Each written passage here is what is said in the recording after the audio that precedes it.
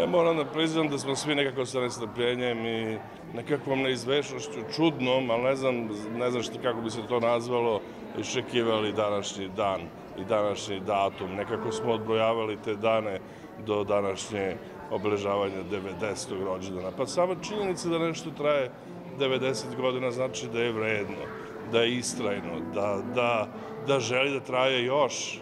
Jel? Zašto bi se nešto ugasilo posle 90 godina? Recimo, ne da je Bože. Ovaj, tako da i mi svi zaposleni, a i ljudi koji e, prate naše pozorište, koji vole naše pozorište, su ovaj rođendan nekako doživali kao, kao lično slavlje. E, tako i mi.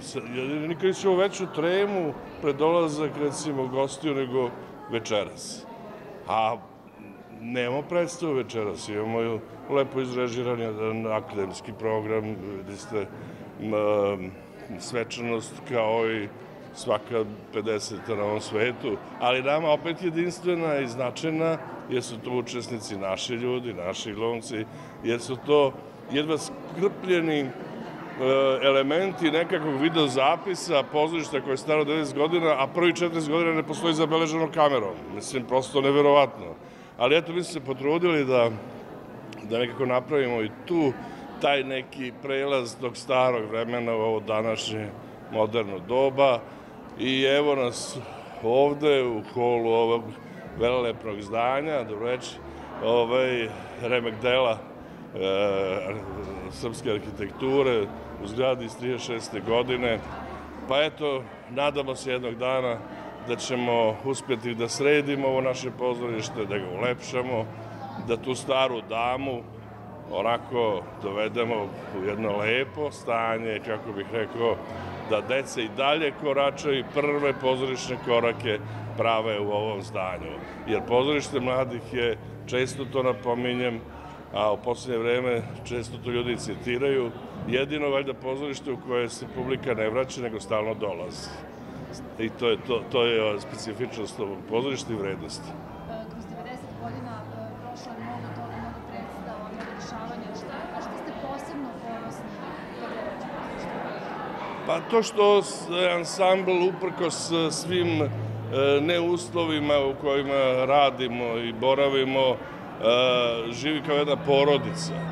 Znate, mi, mi se trudimo da osvajamo Evropu e, i pratimo evropske, u korak evropska e, velika pozorišta repertoarom, e, uspevamo u tome, a nekako sredstvima koja su iz nekog veka iza nas, razumete?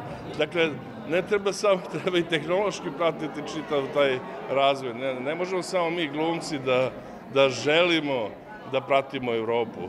Evropa mora da, mora da u korak sa Evropom, sa svim elementima koji čine jedan savremeni teatar. E, a ja sam ponosan na to što i dalje postoji sloga nekakva i ljubav prema ovom pozorištu. Na koji način ste obeležili ovih 90 godina, svečanu akademiju, šta je ono što publiku očekuje u nekom narednom periodu? Pa mi smo čitavu godinu posvetili 90 godišnici e, pozorišta mladih. E, ovo je samo početak, Svečana akademija Mi smo izdali i objavili, odnosno objavit ćemo uskoro monografiju 90 godina na području mladih. Mogu reći da je to, mislim, prva monografija takvog tipa u ovih 90 godina.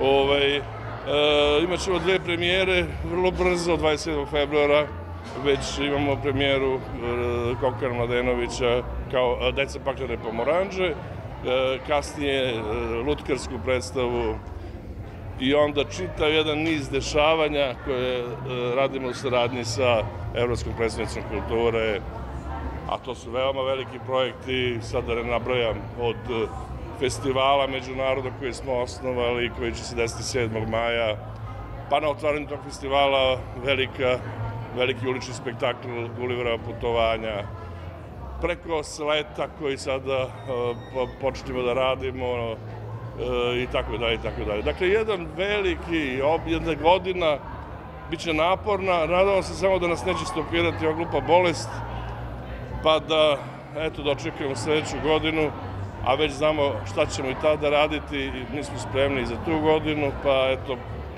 predstavnica kulture nam je donala nešto što se zove, što je dobro u stvari, dobijete jedan impuls, input da, da se brže radi, da budete mobilniji, dobijete više para, normalno, to je sve u redu. Tako da, eto, radno je. Hvala vam, hvala.